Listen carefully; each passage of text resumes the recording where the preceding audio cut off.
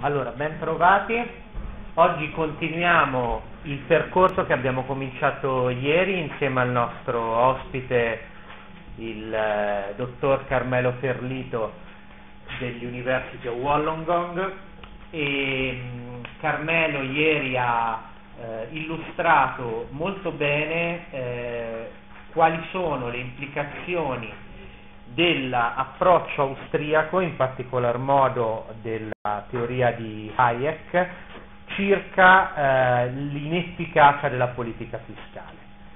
E ha lasciato aperto il, la, l'aspetto, diciamo, se volete, più micro di questo ragionamento, che riguarda il modo in cui all'interno della, del, del mondo economico la, eh, le conoscenze eh, vengono in qualche modo eh, a, a, creare del, de, degli effetti sulla capacità del decisore pubblico di intervenire nel modo più opportuno. Oggi la lezione di Carmelo eh, continuerà questo, uh, questo, ragionamento entrando più nel merito del contributo degli studiosi austriaci circa il ruolo della conoscenza e circa il modo in cui possiamo definire razionale un comportamento uh, del decisore pubblico come anche degli operatori privati.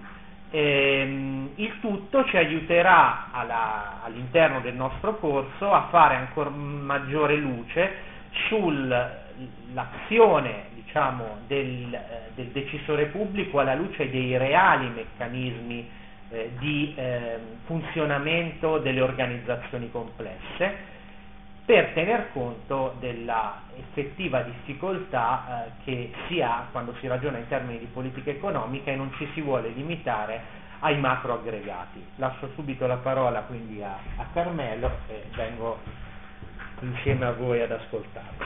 Grazie, grazie Stefano, grazie a voi per essere qui ancora più numerosi di ieri, perché oggi tocchiamo un tema che mi sta particolarmente a cuore, che è quello della conoscenza e della razionalità e come le dinamiche della conoscenza e della razionalità vadano a impattare eh, con l'intervento pubblico in economia, la pianificazione o il socialismo inteso in un senso più ampio eh, da come è comunemente inteso e come andrò a definire tra breve. Allora, qui come al solito eh, vi ho mh, riportato della bibliografia di riferimento eh, che è molto ampia, come potete vedere. Eh, tra questi testi io ve ne consiglio alcuni, ehm, in italiano questo di Jesus Huerta de Soto, che è ancora disponibile, credo, eh, perché eh, Jesus Huerta de Soto ha la caratteristica e la capacità di sintetizzare eh, i dibattiti e le tematiche in modo molto didattico, per cui il libro è impegnativo, circa 400 pagine, però è anche vero che eh, è una guida al lettore passo passo verso eh, la comprensione eh, del fenomeno in esame. Sul tema specifico di oggi, poi vi consiglio, penso che insomma, se studenti di economia leggiate tutti in inglese, quindi non abbiate problemi, eh, il primo dei due libri di Don Lavoie, Rivalry and Central Planning, perché è il libro che storicamente ha eh, ridisegnato lo stato del dibattito eh, riguardo al tema che andremo a trattare quest'oggi.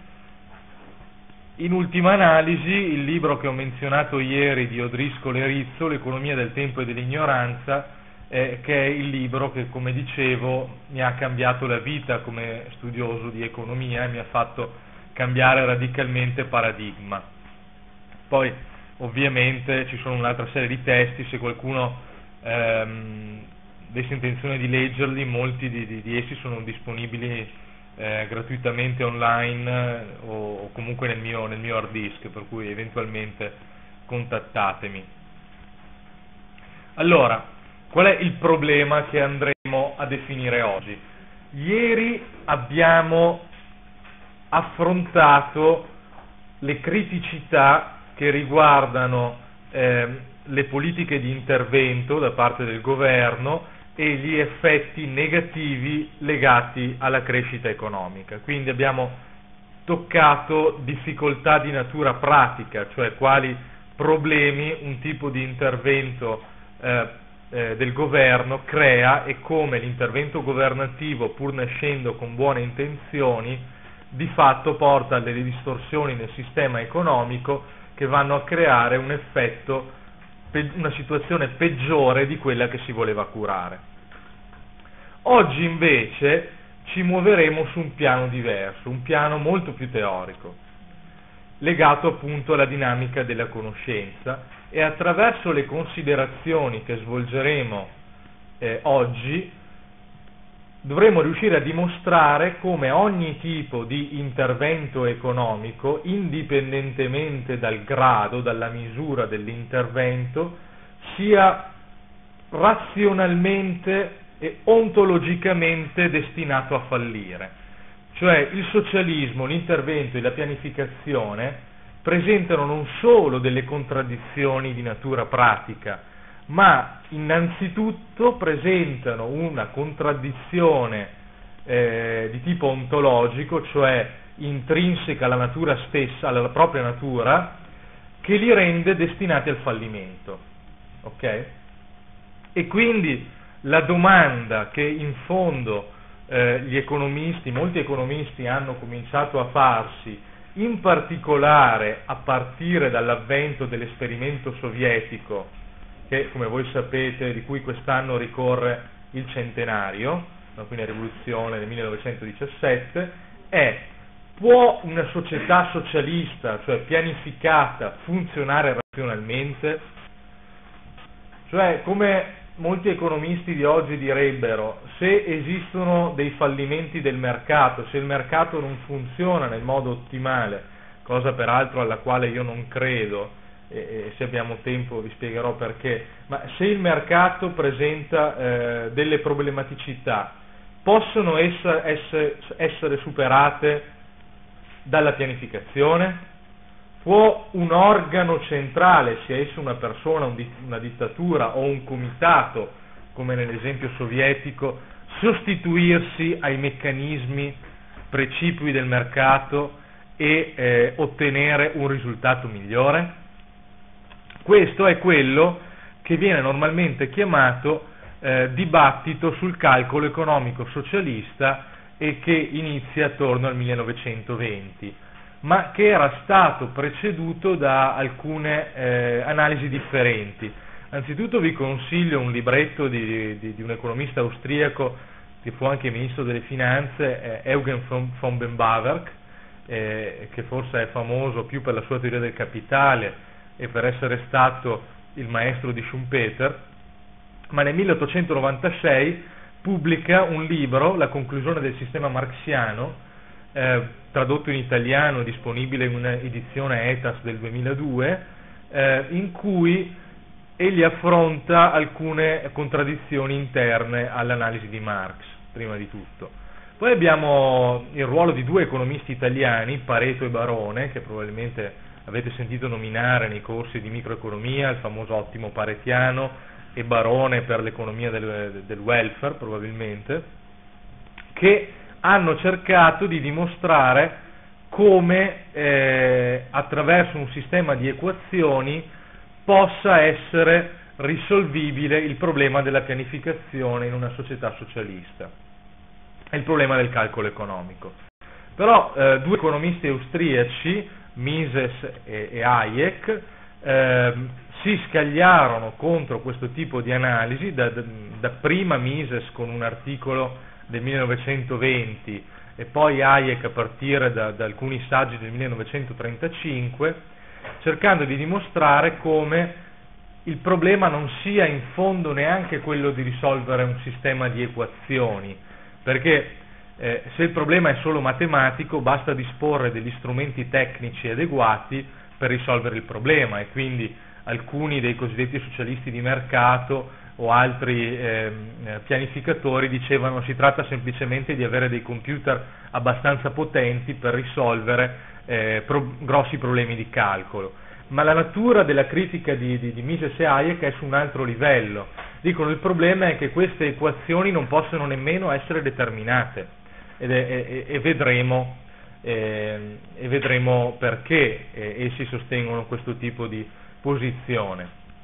Nell'ambito del dibattito è curiosa la posizione di un economista molto famoso, anche egli austriaco ma non appartenente alla scuola austriaca, Joseph Schumpeter, che mi è molto caro, ma eh, che pur essendo un economista sostenitore del libero mercato, ma avendo la passione eh, di, di, di, lanciare delle affermazioni che eh, fossero in grado di stupire il proprio uditorio, nel 1942 in un libro intitolato Capitalismo, Socialismo e Democrazia dice è ormai evidente che il socialismo può funzionare benissimo e l'unico a sostenere il contrario è rimasto il professor Mises, col quale avevano una disputa legata anche a degli incarichi accademici, quindi cose che non sono nuove ed esclusive dell'ambiente accademico contemporaneo, ma che ci sono sempre state.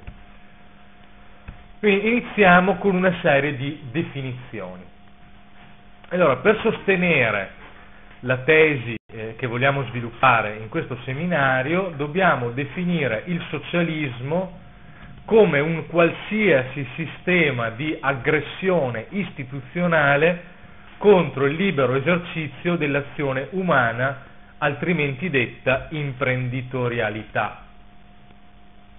Quindi con socialismo noi non intendiamo semplicemente un controllo totale dei mezzi di produzione o una cancellazione eh, dei meccanismi tipici, tipici del libero mercato ma un qualsiasi ostacolo che un'autorità anteponga alla libera azione individuale. Quindi in un qualche modo ogni tentativo di manovra cosiddetta redistributiva è socialista.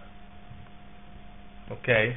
Quindi stiamo parlando di una definizione molto più ampia di quanto non sia tradizionalmente intesa. Possiamo dire che ogni tipo di intervento pubblico, essendo eh, naturalmente distorsivo di quella che sarebbe l'azione individuale senza l'intervento governativo, rientra nella ampia categoria di intervento di natura socialista. È chiaro? Chiaro per tutti? Bene. Che cos'è invece l'imprenditorialità? che per un certo filone della scuola austriaca va assolutamente identificata con la più generale categoria di azione umana, eh, infatti possiamo definire l'imprenditorialità come la, funzione, come la, la, la stessa azione umana. Quindi la funzione imprenditoriale è esercitata da qualsiasi persona che agisce per modificare il presente e raggiungere i propri obiettivi nel futuro. Cioè, voi siete qui oggi a lezione ad ascoltare me invece che essere al wasabi sushi kaiten teppanyaki eh, all'altro lato della strada, giusto? Quindi stamattina quando vi siete alzati in modo più o meno consapevole e più o meno sopraffatti dal senso di sonno che vi attanagliava, avete deciso di venire qui invece che andare al wasabi sushi, giusto? L'avete fatto, mi auguro, con un motivo. Come? Perché è chiuso wasabi. Eh, eh, questo è già un motivo, cioè l'alternativa che in un qualche modo aveva un appeal maggiore, andare dal wasabi sushi invece che venire a sentire questa noiosissima lezione viene automaticamente eliminata per il fatto che il wasabi sushi è chiuso e quindi non potendo stare a bighellonare in mezzo alla strada siete venuti a lezione e quantomeno eh, potreste beneficiare del fatto di passare l'esame che in un qualche modo è legato al più generale vostro obiettivo di laurearvi voi venite all'università per laurearvi immagino meno che non ci sia qualcuno che ha del tempo libero e non sa cos'altro fare, ma penso che voi siate tutti qua per laurearvi, giusto? Quindi voi non venite qui senza uno scopo. Quindi, come è scritto qui, la vostra azione umana è finalistica. Giusto? E da che cosa è data la finalità della vostra azione umana? Da delle aspettative. Cioè voi perché volete laurearvi? Lei con la barba qua davanti, perché si vuole laureare? Beh, per eh, poi trovare un lavoro facilmente e avere una maggior conoscenza del... Cioè, possibilmente lei vuole trovare un lavoro migliore di quello che eh, si aspetta di trovare con il suo diploma di scuola superiore. Coltiva questa pia illusione, in fondo, giusto? E, quindi questa pia illusione viene eh, definita scientificamente come aspettativa. E, e io non ho, non, con questo non, so che ci sono, sono temi che tratterete nel futuro, non ho nessun tipo di passione per i temi delle aspettative razionali piuttosto che delle aspettative adattive e queste definizioni che di solito gli economisti neoclassici associano alle aspettative. Eh, le, l'economia ha a che fare con l'azione umana individuale e quotidiana in un qualche modo, quindi non c'è bisogno di appoggiare delle etichette alle categorie di aspettative. È evidente che, eh, come cantavano i Blue Vertigo, senza un'idea non ci si può alzare dal letto, giusto? C'è qualcuno di voi che si ricorda questa band eh, electro rock degli anni 90? No, assolutamente, però forse avete visto Morgan a X Factor. Morgan era il cantante di una band chiamata Blue Vertigo, che era tra le mie band favorite quando avevo la vostra età. E, e quando lui canta senza un'idea non ci si alza dal letto, intende proprio questa cosa qui, cioè voi la mattina prendete una decisione consapevole, che è quella di fare colazione e venire all'università, che è dettata da un fine che volete raggiungere, che a sua volta è determinato dalle aspettative.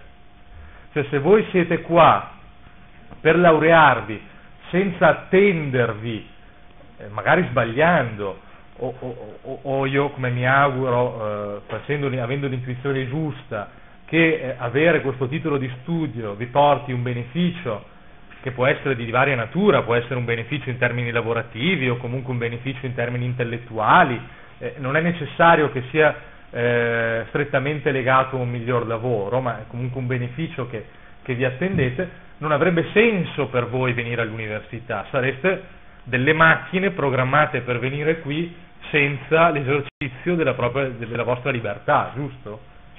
Ma c'è una, una cosa fondamentale che vi distingue dalle macchine, che è quella della consapevolezza, della libertà, cioè il fatto che decidete di venire qui al mattino liberamente. Giusto, non credo che abbiate genitori con la frusta a casa, lei non ha genitori con la frusta, no, o male.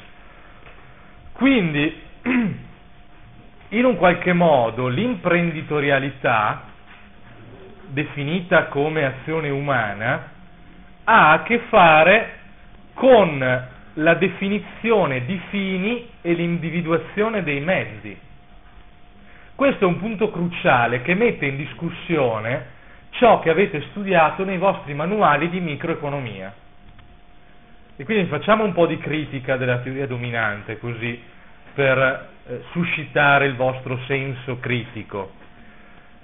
Voi penso abbiate studiato tutti la definizione di Robbins secondo cui eh, la scienza economica ha a che fare con l'allocazione di risorse scarse eh, per ben determinati fini con, in concorrenza tra di loro, giusto? È una definizione che vi suona familiare? Però pensate al grande limite che ha questa definizione. In questa definizione il processo di individuazione dei fini, di scoperta dei fini e di scelta dei mezzi, di scoperta dei mezzi, è completamente lasciato fuori, perché fini e mezzi appartengono ad un paniere definito, i famosi dati. Ma vi faccio un esempio molto semplice. A qualcuno di voi è capitato di innamorarsi qui all'università? O siete arrivati già qua tutti con l'amorosa delle superiori e siete insieme da quando avevate 15 anni e vi sposerete e starete insieme tutta la vita? C'è qualcuno che si è innamorato qua all'università? Loro due? Ma- maglietta blu e... No, va bene, cioè non è mica sbagli- non è sbagliato innamorato, lei non è innamorato, ha una ragazza di cui non è innamorato. Poverina, la fa soffrire se dice che siete insieme senza essere innamorati. Questo solo per dire che evidentemente se eh, un processo di innamoramento avviene a lezione, questo non avviene, e questo non avviene in base a una scelta premeditata, cioè vado all'università di Bergamo oggi e vediamo se mi innamoro questo nell'ambito dei fini del paniere e sceglierò uno dei mezzi, non lo so, mettere un certo profumo per attirare eh, una ragazza. Questo, l'esempio dell'innamoramento mi sta molto a cuore perché è forse l'esempio più clamoroso che vi fa individuare come i fini non siano scelti nell'ambito di un paniere predeterminato, ma in un qualche modo siano il frutto di un processo di scoperta. Cioè voi non vi innamorate a prioristicamente, vi innamorate solo nel momento in cui incontrate una persona che corrisponde al vostro desiderio o quantomeno intuitivamente percepite che quella persona possa corrispondere al vostro desiderio e questo innesca un meccanismo di scoperta che può portare alla conferma o alla revisione della vostra intuizione iniziale. Giusto? Cioè nel momento in cui vi innamorate, allora, che è una scoperta, scatta il processo di selezione dei mezzi.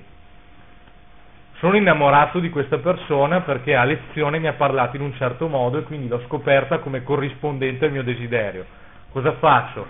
Prima cosa tenterete di, di invitarla fuori, giusto?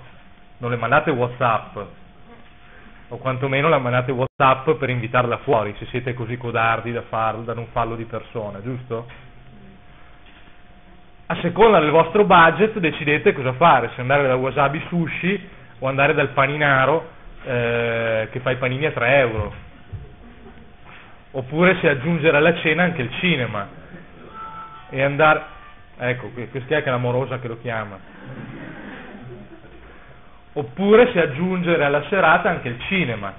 Questo evidentemente dipende dalle risorse, ma non solo dalle risorse, dipende anche da ciò che voi considerate adeguato a raggiungere quello scopo. Ok? Attenzione, facendo questo tipo di riflessione noi non solo scardiniamo il concetto di selezione mezzi fini, ma scardiniamo anche il concetto di homo economicus. Chi è l'Homo economicus? Quali sono le caratteristiche di, di, di, questo, di questo Homo economicus? Lei se le ricorda?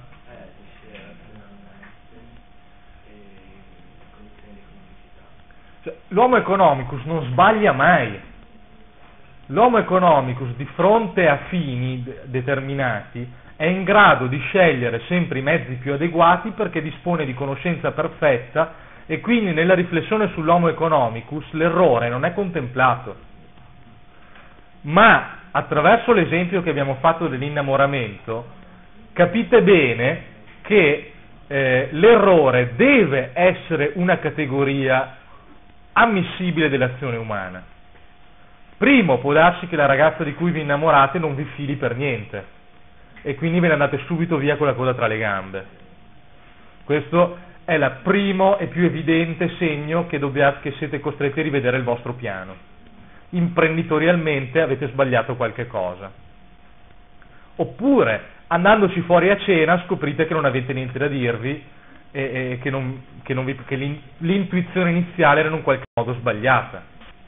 Oppure può darsi che questa consapevolezza nasca dopo una relazione di 5 anni, vi siete rotti le scatole e quindi siete costretti a rivedere quel piano imprenditoriale. Quindi la revisione è un processo continuo perché agendo nel tempo storico voi acquisite sempre nuova informazione. Quindi l'informazione perfetta, concepita per la finzione dell'homo economicus, è evidentemente una forzatura sulla realtà. Nessun agente umano dispone di tutti i dati a disposizione. Ma attenzione, e questa è distinzione coi, un'altra distinzione con i neoclassici, questo vuol dire che noi siamo irrazionali? No, al contrario, perché nel momento in cui voi mettete in moto un piano usando dei mezzi per raggiungere dei fini che sono dettati dalle aspettative, state evidentemente, evidentemente scegliendo il miglior piano a disposizione coerentemente con l'informazione di cui, eh, che avete in mano. Cioè, in questo senso voi siete razionali, cioè ex ante il nostro piano è sempre razionale perché per le nostre conoscenze è il miglior piano a disposizione. Noi saremo costretti a rivedere il nostro piano o addirittura a rivedere i nostri fini e quindi a rivedere le nostre aspettative solo di fronte all'acquisizione di nuova informazione. Ma l'acquisizione di nuova informazione non è qualcosa di statico, è la conseguenza di un processo dinamico, cioè con la ragazza ci dovete andare fuori se volete scoprire qualcosa, che avviene nel tempo reale, cioè in un tempo, come vedremo tra breve, in cui può succedere di tutto. No? Cosa succede se andando fuori a cena con la ragazza fate un incidente? Può succedere, no? Cioè, queste sono cose, adesso non per essere drammatico, però faccio un esempio molto breve. Io stavo discutendo eh, l'avviamento di un, di un, centro di ricerca con l'università in cui lavoro e nel momento della definizione di un budget hanno scoperto che avevo un cancro, ok? E quindi sono dovuto venire in Italia per operarmi di cancro.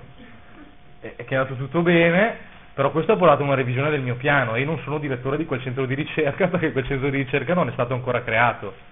Però, grazie a quel, a quel tipo di incidente, sono qui oggi all'Università di Bergamo perché devo passare in Italia un tempo a fare qualche cosa e vengo a spiegarvi queste cose. E quindi spero che da domani ci siano un po' più di austriaci in giro, eh, in giro per Bergamo.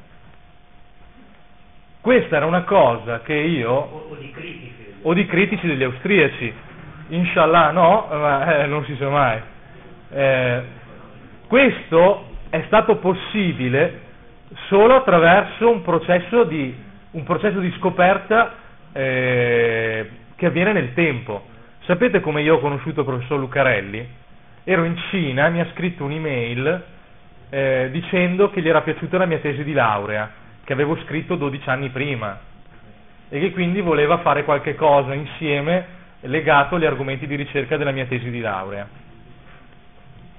Evidentemente questo è qualcosa che non era previsto fino al momento prima in cui questa email non era arrivata. E quindi se lui non avesse mandato quell'email, oggi non sarei qui. In mezzo la malattia, le, le, un processo di scoperta.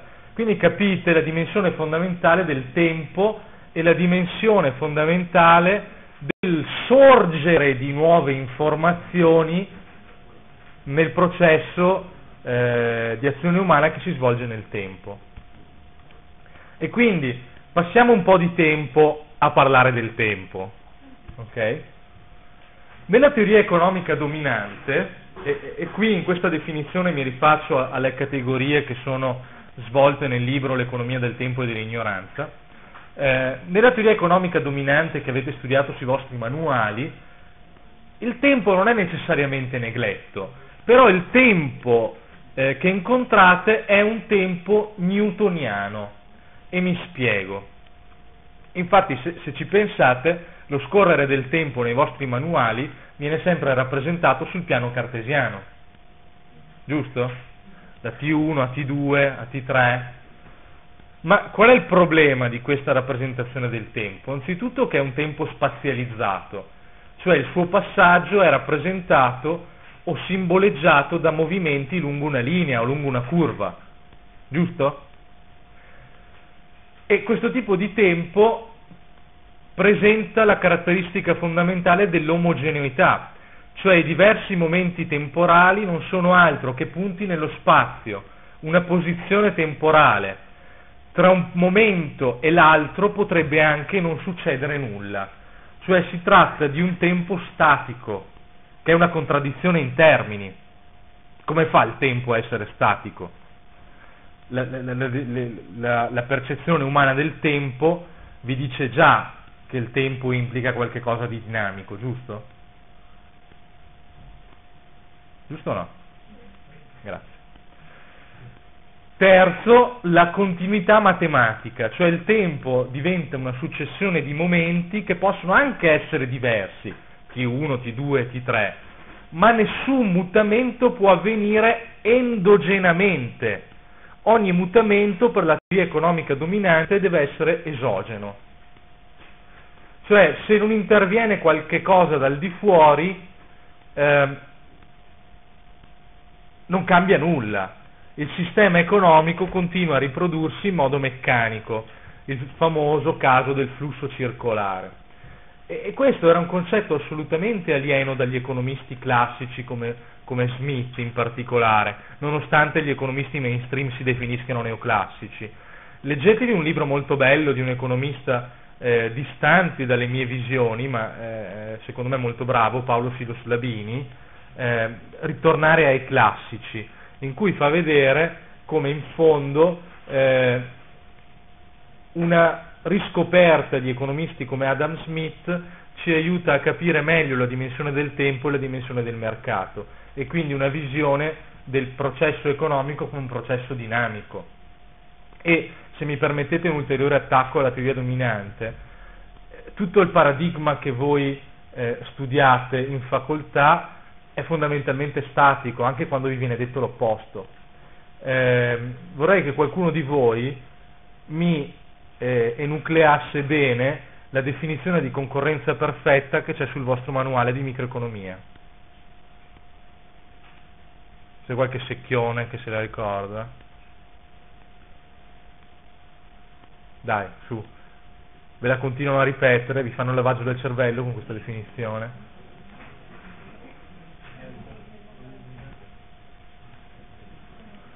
Dai, lei con gli occhiali, con i capelli lunghi. Vabbè, con su quelle parole sue.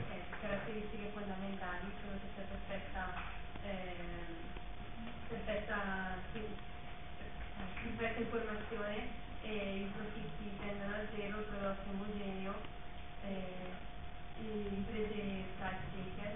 Imprese anche consumatori, price takers. E appunto, come ha detto lei, il prodotto è omogeneo. In un'industria il prodotto è omogeneo. E i profitti tendono a zero. E allora io vi, eh, vi lancio questa provocazione. Quindi ci sono tutte una serie di imprese che producono la stessa cosa con una tecnologia data, cioè sono tutte uguali. Ignorate per un momento questa definizione, pensate a una partita di calcio. Una partita di calcio è qualcosa di competitivo per quella che è la vostra percezione di competizione? Sì, giusto? Cioè, due squadre si confrontano per vincere. E le due squadre che si confrontano sono tutte uguali? Cioè hanno 11 giocatori totalmente interscambiabili? Producono lo stesso calcio? Gli spettatori sono eh, risultato takers? Un risultato che evidentemente tenderà a essere sempre 0 a 0? No, però compet- invece nella realtà è competitiva ed è competitiva perché una squadra è più forte e una squadra può vincere o perché è più forte come team o perché ha più forti individualità o perché ha corrotto l'arbitro no.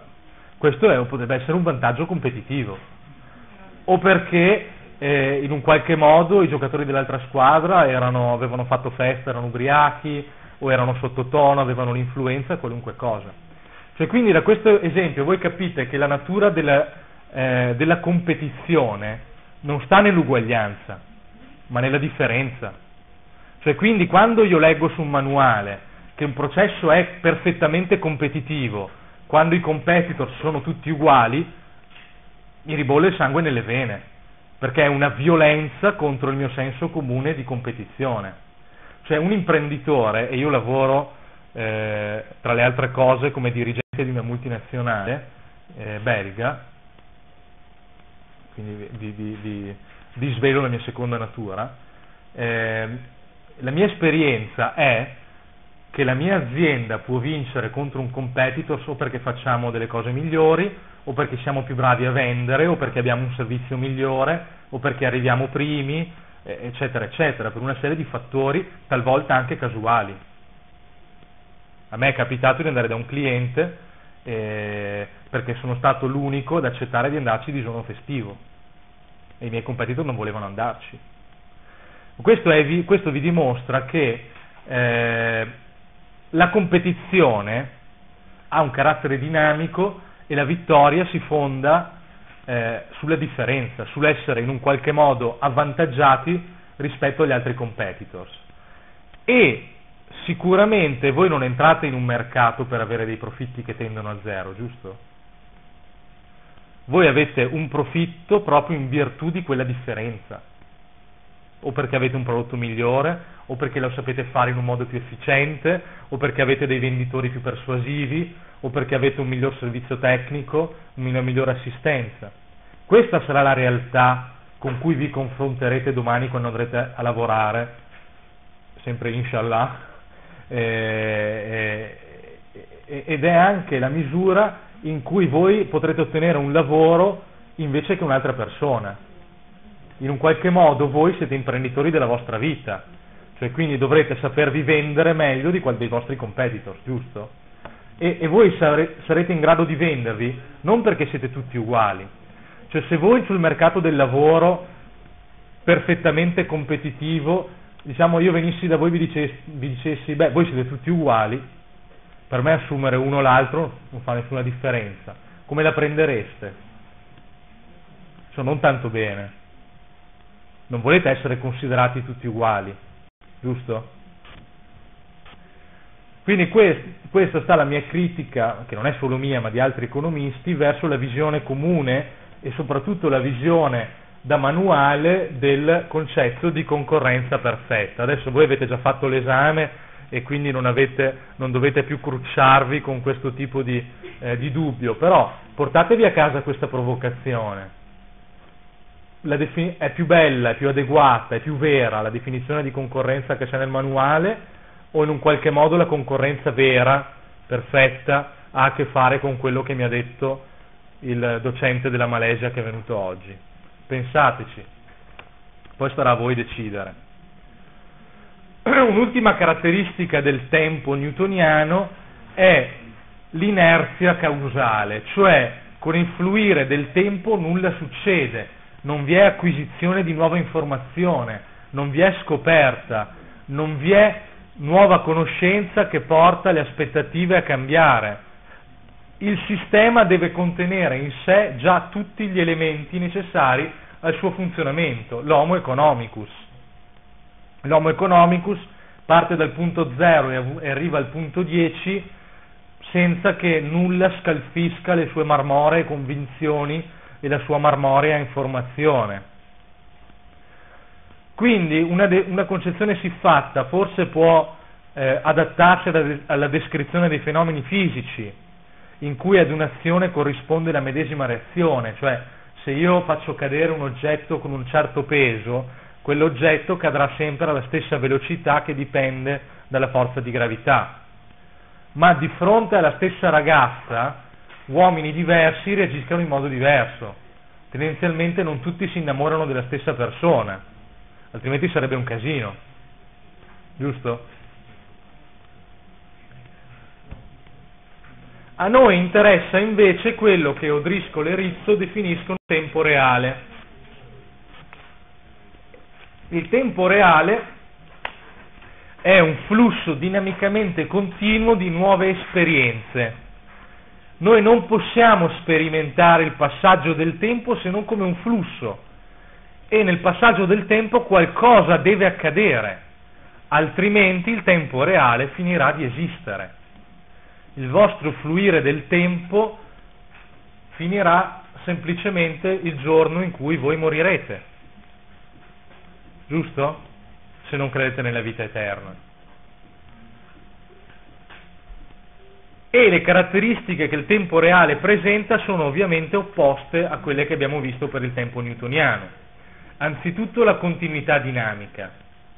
Il tempo deve essere composto da memoria e da aspettative, cioè quindi la mia azione scatta in seguito a delle aspettative, però è chiaro che eh, le mie aspettative sono dettate dalla mia memoria del passato. Qualche problema là in fondo? Tutto posto? Se qualche domanda la faccia pure a me, altrimenti non è importante. Eh, quindi l'azione presente, che è rivolta sempre al futuro, cioè noi agiamo oggi per ottenere qualcosa domani, ma la nostra azione è per forza di cose basata sull'esperienza che abbiamo acquisito ieri giusto? Cioè, se uno di voi si è proposto ieri a una ragazza e questa ragazza si è rifiutata, uno non torna oggi facendo a quella ragazza la stessa domanda, altrimenti sarebbe un idiota, giusto? Quantomeno, se proprio è fissato con quella ragazza, tenterà di cambiare strategia, giusto?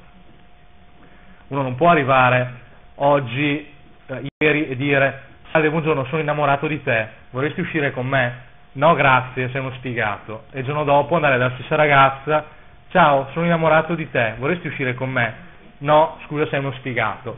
Perché in effetti quel ragazzo diventa uno sfigato a quel punto lì. E quindi evidentemente l'esperienza del passato deve essere un bagaglio, essere un bagaglio che eh, porta alla revisione del piano. Siete d'accordo su questo? Ecco la maglia blu, è d'accordo? Meno male. Un'altra caratteristica è l'eterogeneità. Ad ogni momento successivo la percezione che l'individuo ha dei fatti può essere di fatto è differente. Il passato, una volta verificatosi, diventa memoria e quindi arricchisce il presente influenzando la percezione del futuro. se voi andate a vedere un film di un certo regista perché pensate che quel regista sia bravo e il film vi delude, probabilmente non andrete a vedere il prossimo film di quel regista. Quindi la vostra percezione di quel fenomeno è cambiata grazie all'acquisizione di informazione che è avvenuta in seguito a un'azione avvenuta nel tempo. Giusto? Ultima caratteristica è l'efficacia causale, cioè lo scorrere del tempo modifica la conoscenza e quindi il bagaglio informativo ampliando le potenzialità creative dell'azione umana. Cioè il fatto che acquisiate informazioni nel tempo vi rende anche più esperti e quindi capaci di giudicare meglio alcune situazioni. Se andate a provocare il più grosso energumeno del vostro quartiere, questo vi prende a sberle, l'esperienza acquisita arricchisce il vostro bagaglio informativo, probabilmente non lo farete una seconda volta. Giusto? Make sense? Yes? No? Bene. Facciamo in inglese il prossimo seminario? No? In malese? Saya boleh sedikit saja. Tabole. Ti ho detto potrei far, parlarlo, potrei farlo solo per un pochino, non posso farlo completamente.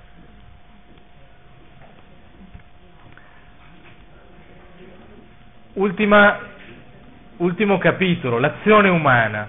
Quindi adesso che abbiamo definito, eh, che abbiamo definito eh, il framework eh, di definizioni, soprattutto relative al tempo che ci interessa, andiamo a vedere quelle che sono le caratteristiche fondamentali dell'azione umana.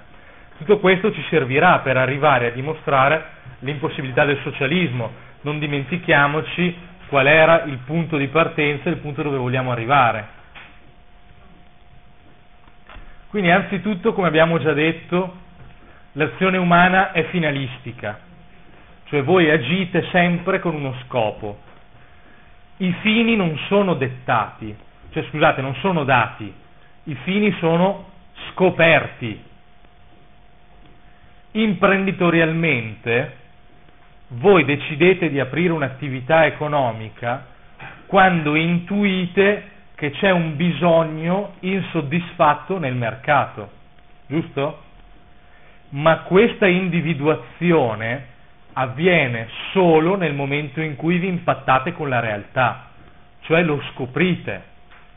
Probabilmente il signore che ha aperto Wasabi Sushi ha visto che non c'erano altri sushi e ha in un qualche modo intuito che in questo momento il sushi è trend, giusto? Tutti siamo diventati un po' maniaci del sushi e quindi sa che può fare più soldi eh, vendendo sushi che non vendendo involtini primavera, giusto? Vi siete mai chiesti come mai tutti i sushi place erano una volta Chinese restaurant e sono gestiti dalle stesse persone? Evidentemente hanno scorto un'opportunità di profitto e sono stati bravi. Che cos'è invece il valore? E qui questa è una cosa molto importante della teoria economica. Il valore è l'apprezzamento soggettivo che l'attore dà al suo fine. Cioè voi non avete un solo fine nella vita, però evidentemente dovete concentrarvi eh, sui vostri fini, su, su alcuni dei fini e quindi imponete una scala di valore ai vostri fini, giusto? Qual è il suo fine primario? Suo, sì. È un fine un po' limitato, non crede? No, eh, dopo... eh, va bene, essere in salute. E dopo ci sono altri fini secondari, non so, andare a giocare a calcetto. Adesso ci sono dei ministri che dicono che è molto importante giocare a calcetto, vero? Io giocavo molto a calcetto, però sono dovuto andare a trovare lavoro in Malesia. Quindi... Giocavi male allora. Giocavo molto male a calcetto probabilmente, sì. O con le persone sbagliate. Che cos'è invece il mezzo? Il mezzo è tutto ciò che l'attore ritiene soggettivamente adeguato a raggiungere un fine. Soggettivamente, cioè l'individuazione di un mezzo, l'adeguatezza, l'individuazione, ragazze, l'individuazione dell'adeguatezza di un mezzo per raggiungere un certo fine è una percezione soggettiva, soggetta a revisione. Cioè voi potete pensare che portare una ragazza a mangiare il sushi sia adeguato a ottenere una relazione stabile con lei, però se poi scoprite che è allergica al pesce, evidentemente me- al pesce crudo, evidentemente quel mezzo non era adeguato, però questo lo potete scoprire solo nel tempo, giusto? Cos'è l'utilità? L'utilità invece è la valutazione che l'attore dà al mezzo, in funzione del valore del fine che egli ritiene che quel mezzo gli permetterà di raggiungere. Cioè l'utilità ci permette di dare una valutazione sul mezzo, sull'adeguatezza del mezzo, sul valore del mezzo rispetto al valore del fine che vogliamo ottenere. Ok? Evidentemente se noi decidiamo di investire solo uh, 50 euro, scusate, quelle non sono solo, diciamo solo 10 euro in un appuntamento con una ragazza, questo ci dice che eh, il nostro obiettivo eh, stabilire una relazione con quella ragazza nella nostra scala di valori forse non è così importante, oppure che siamo molto poveri. I casi sono due, giusto? Giusto o no? La ragazza non sarà molto clemente in questo caso. Quindi è evidente che c'è un legame tra valore e utilità. Il valore soggettivo che l'attore attribuisce al fine che persegue si proietta sul mezzo che ritiene utile per ottenerlo, proprio tramite il concetto di utilità. Cioè è chiaro che io deciderò di investire più risorse per raggiungere il fine che ritengo più importante. Pensate a quanto tempo voi investite qui all'università, giusto? Invece che essere fuori a giocare a calcetto. Quindi è evidente che voi attribuite al fine laurearsi un'importanza molto alta, perché forse investite il 70% del vostro tempo qui. Giusto? Un'altra cosa importante, i mezzi debbono essere scarsi per generare una certa azione. Un mezzo che non è scarso non ha utilità, perché è sempre a disposizione. Quindi in un qualche modo non si pone tra le cose su cui dobbiamo scegliere, giusto? Anche se noi fossimo estremamente ricchi, eh, con un enorme bagaglio di mezzi, esiste un mezzo per eccellenza che è scarso per tutti. Qual è? Il tempo, bravi. Il tempo è scarso per tutti. Abbiamo tutti una giornata di 24 ore, ricchi e poveri.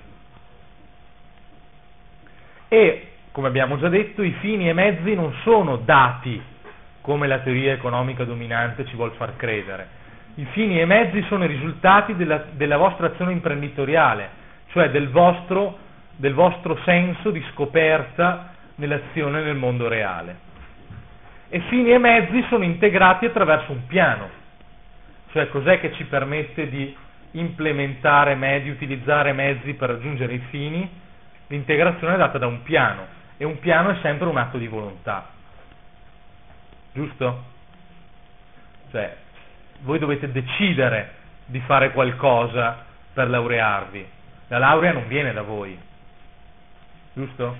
Prima o poi forse si arriverà che ve la portano, ve la mandano per posta, però per adesso è rimasta ancora una certa serietà nel mondo accademico.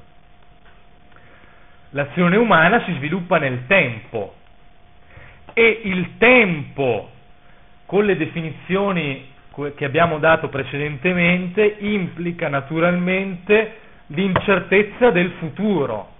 Cioè il fatto che voi implementiate un piano nel tempo per raggiungere un fine attraverso certi mezzi non implica assolutamente il successo di quel piano, come invece è implicato nell'azione, economica, nell'azione dell'Homo economicus il futuro è aperto ad ogni possibilità, è incerto per natura.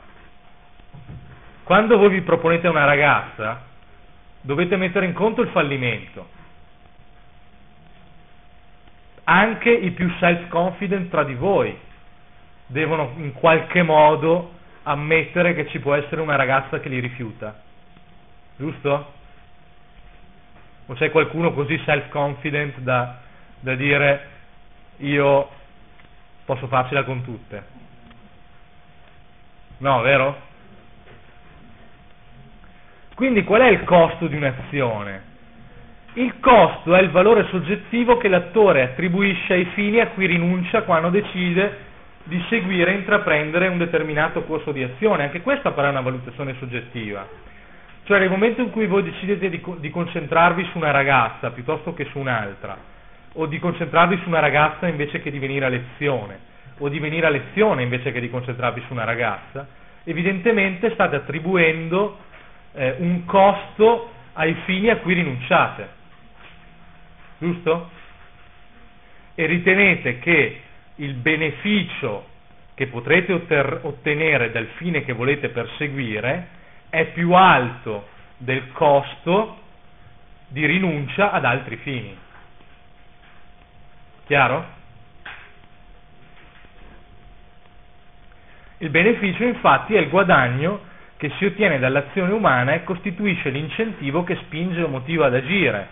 Cioè voi agite sempre nella speranza di ottenere qualche cosa di più eh, di ciò che avevate prima, non necessariamente in termini materiali, ma in termini generali di soddisfazione. Per questo, come ho detto prima, l'azione umana è per definizione sempre razionale, ex ante. Ex ante l'attore cerca e seleziona sempre i mezzi più adeguati che, eh, ritenuti tali per raggiungere un certo scopo. Ex post voi potete scoprire di aver commesso un errore, e l'errore implica che voi siete portati a rivedere o i vostri fini, o le vostre aspettative, o il vostro piano. Ma dove avviene tutto questo processo? Avviene in un posto che in termini generali noi possiamo chiamare mercato. La realtà è un grande mercato, un mercato in cui sono in gioco le vostre vite in termini molto generali. Ma questo è il posto in cui l'informazione A viene generata, B viene scambiata e quindi il processo di revisione di aspettative, fini, mezzi e piani avviene. Il mercato non è necessariamente un luogo fisico, il mercato è la realtà, tutta la realtà è mercato. Il mercato quindi è un processo di scoperta, la cui funzione fondamentale è il permettere la generazione, la scoperta e lo scambio di informazione. Chiaro? Questa è la funzione principale del mercato e presto vedremo perché questa funzione è molto importante. L'informazione o la conoscenza che è importante per l'esercizio della funzione imprenditoriale, cioè di questo processo di scoperta che è l'azione umana, ha delle caratteristiche precise. Cioè la conoscenza anzitutto è sempre soggettiva, di tipo pratico e non scientifico gli imprenditori non sono degli scienziati, ma acquisiscono sempre una conoscenza di tipo pratico. È l'esperienza pratica che ci, dice, che ci dice che non ci sono altri sushi in giro. La conoscenza è esclusiva, è dispersa nella mente di tutti gli uomini, è creata dal niente mediante l'esercizio della funzione imprenditoriale ed è trasmissibile in modo spesso incosciente attraverso processi sociali estremamente complessi, il cui studio dovrebbe costituire l'oggetto di indagine della scienza economica, se non esistesse l'homo economicus. Quindi che la conoscenza è pratica vuol dire che essa riguarda tutto ciò che non può essere rappresentato in modo formale, ma che il soggetto acquisisce o apprende attraverso la pratica, cioè attraverso l'azione umana in diversi contesti. Cioè il processo di, innamor- di innamoramento non può essere messo come x uguale f, eh, y uguale f di x. Non funziona. Funziona in un modo molto diverso. In un modo non formale, ma che guarda caso fa sì che la maggior parte degli esseri viventi si accoppi. Giusto? pur non rispondendo a un processo di formalizzazione matematica. O, come si usava a dire una volta, Parigi viene sfamata, cioè anche se nulla si produce a Parigi, in un qualche modo Parigi ottiene le brioche. O, per legarmi a voi, tutte le mattine voi trovate la colazione sul vostro tavolo oppure al bar senza che a qualcuno ne importi veramente qualcosa. Giusto? A chi produce il grano importa della vostra colazione? No, giusto? A chi produce lo zucchero importa della vostra colazione? No, assolutamente. Eppure voi avete qualcosa che contiene grano e zucchero sul vostro tavolo ogni mattina. Questo è grazie a un processo di scambio di conoscenze pratiche. Cosa vuol dire poi che la conoscenza è esclusiva e dispersa? Che ogni uomo possiede solo alcuni bit dell'informazione che si genera e si trasmette globalmente a livello sociale, ma paradossalmente solo lui possiede questi bit. Inoltre la conoscenza è tacita e non articolabile, cioè l'attore sa come fare o effettuare determinate azioni ma non sa quali siano gli elementi o parti di ciò che sta facendo. Cioè, quando voi mettete in moto un piano per conquistare una ragazza, non lo fate in modo formale, cioè non vi sedete giù al tavolino, allora la mia aspettativa è trovare una moglie. Per fare questo il mio fine è di conquistare quella ragazza, ho a disposizione questi mezzi e adesso faccio un piano che implemento per... Eh, non avviene così. Se qualcuno fa così è da internare subito. Siete d'accordo? Lei, lei, ride, lei non fa così quando vuole conquistare un ragazzo in discoteca, giusto? Non porta via carta e penna. No, eh, per, for- per fortuna, quindi vuol dire che lei è normale. Poi la conoscenza è tacita e non articolabile. Cioè l'attore, eh, no questo scusate, abbiamo appena detto, in ultima analisi l'atto imprenditoriale implica la creazione ex nihilo, cioè dal niente di una nuova informazione. Questa creazione ha luogo nella mente di ogni persona. Cioè nel momento in cui voi andate fuori con una ragazza da cui vi aspettate una conversazione travolgente e invece vi scoprite, scoprite che è estremamente noiosa, questo è un processo di creazione di informazione dal niente, che avviene nella vostra mente e che poi forse comunicherete in modo spontaneo o in modo non spontaneo, non cosciente. Cioè il fatto che voi non abbiate un secondo appuntamento con questa ragazza può dire ad altre persone alcune cose. A, quella ragazza non vale la pena. B, non vi siete piaciuti. C, hai fatto delle cose sbagliate. Tutta una serie di intuizioni che implicano quella cosa meravigliosa che è chiamata processo ermeneutico. Cioè, le informazioni eh, contenute nei fatti implicano interpretazione. Cioè il fatto che due persone rompano una relazione può portare in individui diversi a diverse conclusioni. Quindi di fronte al, fatto, al medesimo fatto oggettivo, le conseguenze in attori diversi possono essere assolutamente diverse. E qui di nuovo la fallacia dell'homo economicus. Se noi fossimo homo economicus, di fronte allo stesso fatto, reagiremmo tutti nello stesso modo ma siccome noi non siamo homo economicus, di fronte a una relazione che finisce, ci può essere un ragazzo che dice, bah, allora ci provo io con quella lì. Ci può essere un altro ragazzo che dice, ma forse allora quella ragazza era una palla, quel ragazzo lì era talmente bravo che se hanno rotto vuol dire che quella ragazza era tremenda. O ci può essere un altro che dice, ma guarda quei due lì, sono proprio degli sfigati, stanno tanto bene assieme. Oppure qualcuno che dice, ma forse finalmente hanno scoperto che si sta meglio da soli. Questo si chiama processo ermeneutico e capite che il tipo di reazione di fronte al medesimo fatto oggettivo, il tipo di reazione soggettiva determina corsi di azione per il futuro che sono completamente diversi.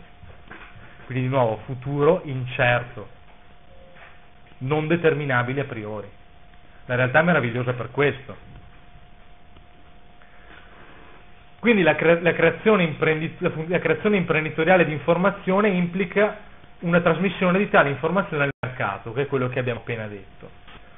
Nell'ambito di questa trasmissione di eh, informazione, un ruolo fondamentale è giocato da alcune istituzioni, cioè il processo soggettivo di creazione di informazione è plasmato oggettivamente da alcuni segnali alcuni segnali quali per esempio le istituzioni. Il semaforo per esempio è un'istituzione condivisa. Noi possiamo evitare incidenti in un qualche modo perché esiste un accordo condiviso secondo cui al rosso ci si ferma. Giusto? Ma il segnale più importante è rappresentato dai prezzi. Il prezzo è la sintesi oggettiva di una serie di valutazioni soggettive. Quanto costa un iPhone oggi? Io non lo so. Quanto? Vabbè, 800 euro, possiamo dirlo. Cosa ci dice il fatto che un iPhone costi 800 euro? ci dice che nel mercato c'è un numero sufficiente di persone disposte a spendere quell'ammontare di denaro e quindi che reputa l'iPhone così importante da generare per Apple un profitto ritenuto adeguato. Giusto? Questa è un'informazione molto importante, eh, che ci dice che se voi volete comprarlo in un qualche modo dovete essere disposti a spendere quei soldi e che se non siete disposti per una serie di motivi o perché valutate l'iPhone non così importante o perché semplicemente non avete 800 euro da spendere, eh, dovete rivedere i vostri piani e quindi comprare per esempio un vecchio BlackBerry. Giusto? Questo è molto importante perché questa funzione dei prezzi permette attraverso un processo di apprendimento, un altro processo meraviglioso che avviene nel mercato, che è il processo di coordinamento, che è quello che Adam Smith aveva in mente quando parlava della mano invisibile. Cioè Adam Smith quando parlava della mano invisibile non aveva assolutamente in mente niente eh, che riguardasse l'ottimo paretiano, l'equilibrio generale, quindi tutte queste cose molto formali aveva semplicemente in mente l'idea che le azioni intenzionali producono esiti inintenzionali e questi esiti riguardano il coordinamento dell'azione individuale. Questo è molto importante e che quindi il, il, il risultato che si può generare attraverso questo processo di coordinamento spontaneo che avviene nel mercato, per cui voi tutte le mattine ottenete la brioche sul vostro tavolo anche se non ci sia una volontà eh, pianificatrice dietro che ritenga importante che voi abbiate la brioche tutte le mattine, ma ciò avviene, eh, è più efficiente, non necessariamente in senso perfetto, ma comunque è più efficiente di ogni volontà pianificatrice.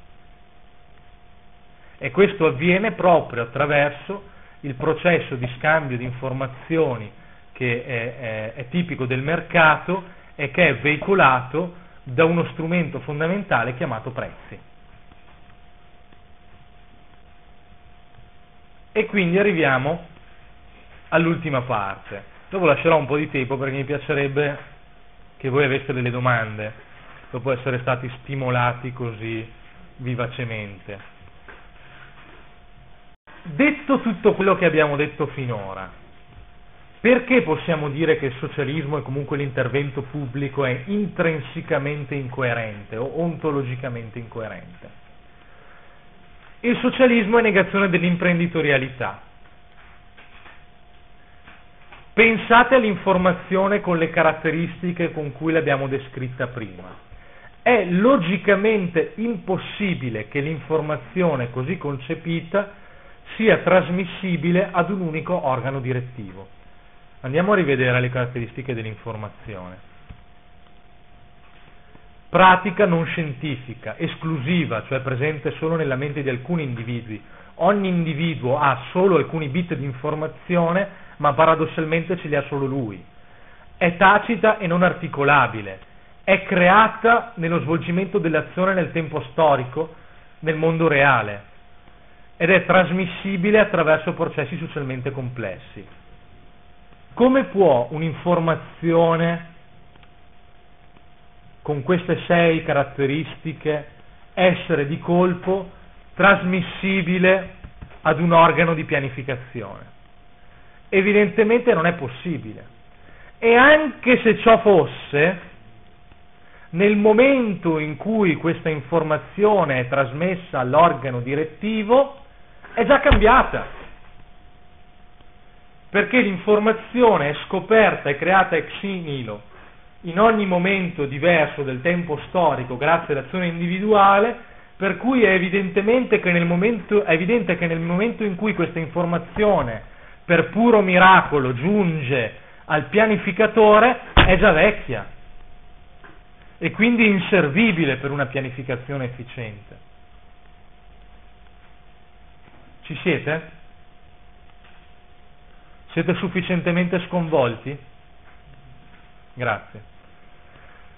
Quindi difficilmente si può trasmettere ad un organo di direzione l'informazione o la conoscenza che non è ancora stata creata, ma che continuamente sorge come frutto del processo sociale di interazione e di scoperta, finché questo non venga aggredito.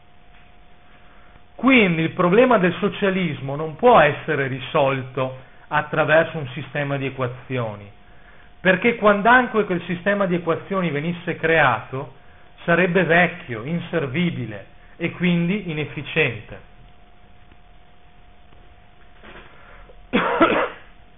Il socialismo è dunque impossibile a causa delle caratteristiche intrinseche alle informazioni che permettono un calcolo economico razionale. Perché il calcolo economico può essere razionale? Abbiamo parlato di benefici, di valore, di costo, di utilità.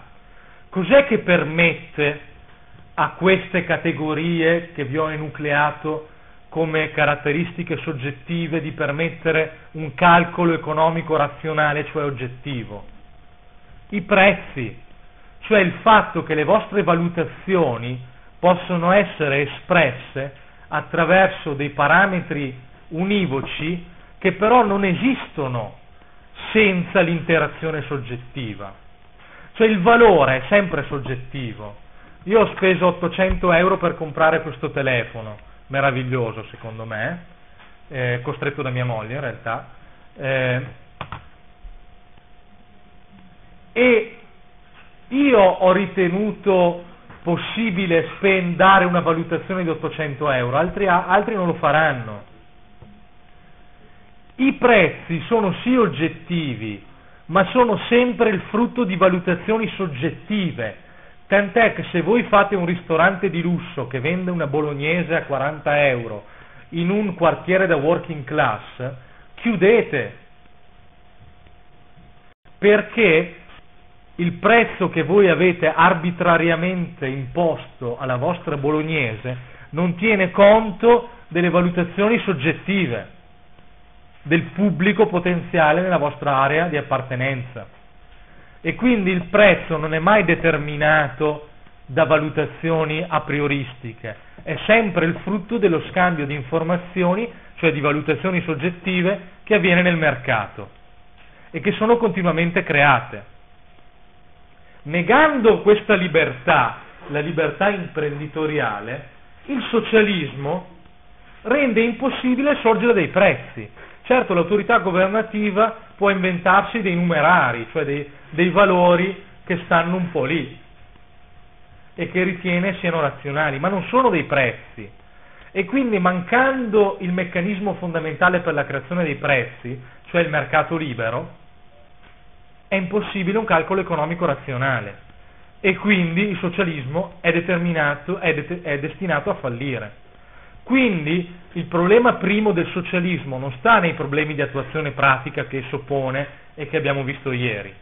Vi è a monte una contraddizione logica che lo rende incoerente prima ancora che il problema pratico si ponga. Negando o limitando l'imprenditorialità, Esso nega i presupposti stessi per il sorgere degli elementi che renderebbero possibili le valutazioni economiche propriamente intese e dunque la possibilità di valutare se un'azione economica ha successo o no. Il socialismo, dunque, come categoria logica incoerente, è destinato al collasso e Mises lo aveva previsto nel 1920. Grazie. Solo una domanda da parte mia. Io però credo che, eh, non voglio fare il difensore del, del socialismo reale dell'Unione Sovietica, però in, quella, in quel quadro il punto di partenza è che, son, è che i fini vengono in realtà stabiliti da comitato e essendo i fini stabiliti dal comitato il, il punto è che i comportamenti dei soggetti che sono governati dal comitato devono essere in qualche modo tutti quanti coerenti con quei fini. Quindi è, è, è la, il, il, vero problema in questo quadro è un'assenza di imprenditorialità che però potrebbe, laddove il rapporto tra il governato e il governante, il governante è estremamente rigido ed estremamente capace a costringere il governato a tenere esattamente quei comportamenti coerenti con quei figli, certo. eh, è- è- cioè, di imprenditorialità sta in questo, nel No. fatto che c'è una limitazione della libertà individuale. O, o ancora, Una negazione. non c'è una negazione, cioè, è ancora più sottile, perché affinché quei fini imposti da un comitato siano condivisi, tu hai bisogno fin da, da bambino di un apparato educativo che crei una consapevolezza distorta nella parte degli individui che quel fine stabilito dall'organo centrale sia effettivamente quello, l'unico immaginario possibile di quel tipo di popolazione. Messa in questi termini capisci anche perché è vero che Mises mette in luce dei difetti che posso anche condividere entro certi limiti nel 1920. Ma a questo punto il vero mistero è come ha fatto dal 1917 al 1989, o comunque sia eh, diciamo, l'89 cade il muro di Berlino nel 91, eh, L'Unione crolla Sovietica. l'Unione Sovietica, gli elementi critici eh, cominciano già prima, già, già alla fine degli anni 70 dal punto Certo. di vista del fallimento dei piani quinquennali. È che però è durato così tanto tempo. Allora ti rispondo eh, alla prima domanda con un'affermazione molto eh, rapida che piacerà ai- agli studenti, mercato nero. Cioè una delle caratteristiche dei paesi ad alto livello di pianificazione è sempre l'emergere di un mercato nero. Cioè per quanto l'organo di pianificazione si sforzi di indirizzare le finalità individuali, la nostra libertà è così soggettiva, così rivoluzionaria e, e così intrinsecamente libera che ci sono certe cose che noi vogliamo assolutamente. E quindi eh, in tutti i paesi ad alto controllo governativo sorgono tantissime sacche di mercato nero. E quindi è chiaro che per far funzionare quel sistema devi arrivare a un, a un livello di coercizione tale che implica il campo di sterminio, cioè l'unico modo in cui tu puoi veramente controllare la libertà, cioè soggiogare le finalità individuali a un generale fine eh, sociale, un fine dettato dall'organo direttivo, è evidente che sei costretto a un tipo di controllo e di violenza che evidentemente va oltre la negazione delle libertà economiche e arriva alla violazione totale dei diritti umani. Primo. Sul lungo funzionamento dell'Unione Sovietica io credo che sia eh, dovuto a un parziale tentativo di adattamento dell'Unione Sovietica a logiche di mercato, cioè l'Unione Sovietica tentava di vendere in ad esempio materie prime, tentava di vendere alcuni prodotti, tentava, doveva comunque porsi in un sistema di relazioni internazionali che avevano a che fare col libero mercato, per cui per esempio tutto ciò che importava lo importava con dei prezzi che erano generati dal mercato. E quindi in un qualche modo era costretta per le proprie valutazioni nell'ambito delle industrie nazionalizzate a sottoporre le proprie valutazioni ad una serie di valutazioni che erano venute altrove e determinate con criteri diversi. E quindi questo le ha permesso secondo me in un qualche modo di eh, vivere più a lungo di quanto non sarebbe stato possibile se fosse stato un sistema al 100% veramente socialista, sarebbe crollato molto prima, ma dovendo per forza mh, confrontarsi con il mondo esterno, questo la portava a contatto con delle logiche di mercato. Tant'è che tu vedi l'esempio della Cina, in cui si sono tentati degli esperimenti di pianificazione veramente totali, come i piani eh, in cui eh, Mao costrì il, il Great Leap Forward, il grande balzo in avanti, in cui Mao costrinse una, tutto, milioni di persone ad abbandonare i campi per andare avanti a lavorare nelle fabbriche, questo portò al più grande, alla più grande carestia della storia dell'umanità e quindi al più grande numero di morti per fame, per fame della storia dell'umanità. Quindi magari la Cina comunista non era crollata, però quando muoiono, adesso non mi ricordo il dato esatto, però supponiamo 10 milioni di persone per fame, è chiaro che tu hai già fallito.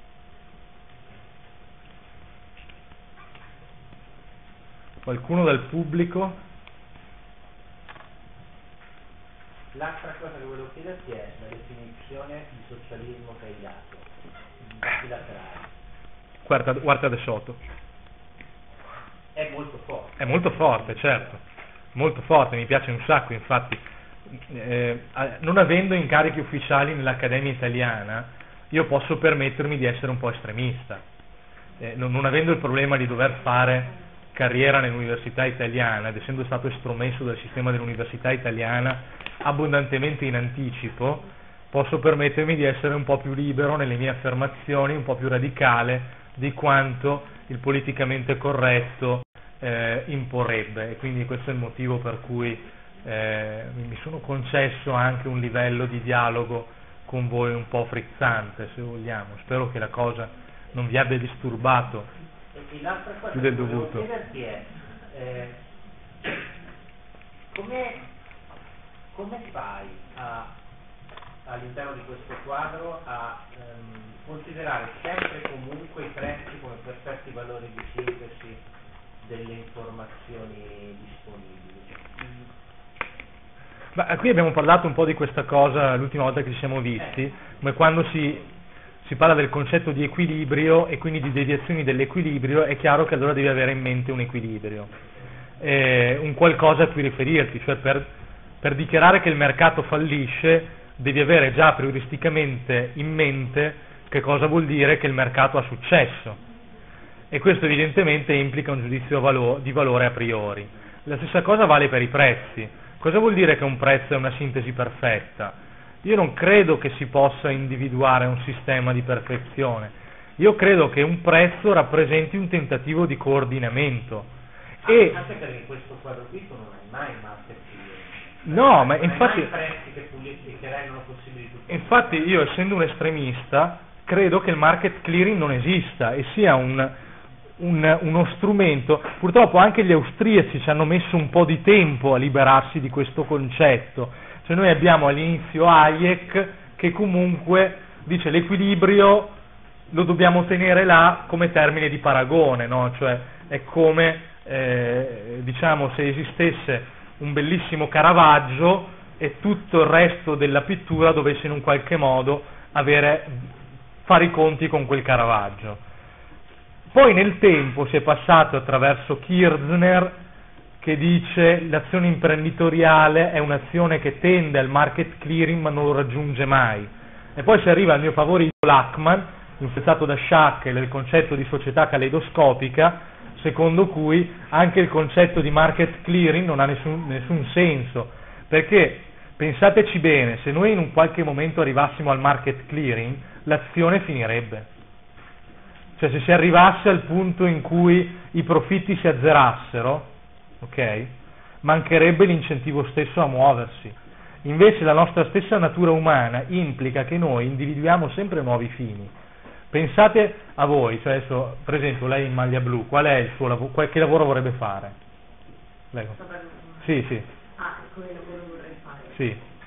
Uh... Si immagina, una cosa che le piacerebbe da matti.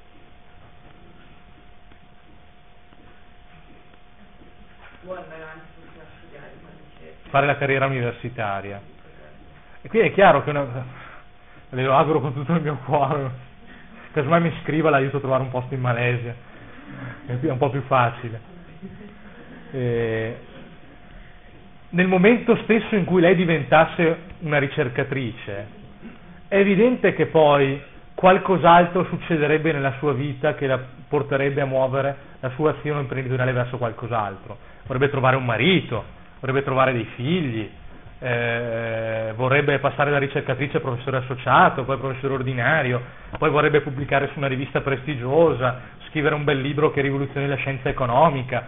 Cioè, l- siccome ontologicamente l'uomo vuole raggiungere la felicità e tutto ciò che raggiungiamo in terra è un'approssimazione della felicità, noi non siamo mai contenti.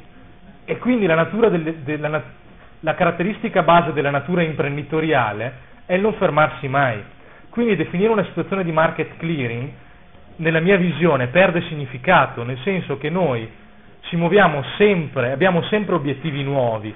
E questo porta continuamente a, a relazionarci col mercato e a far cambiare il mercato.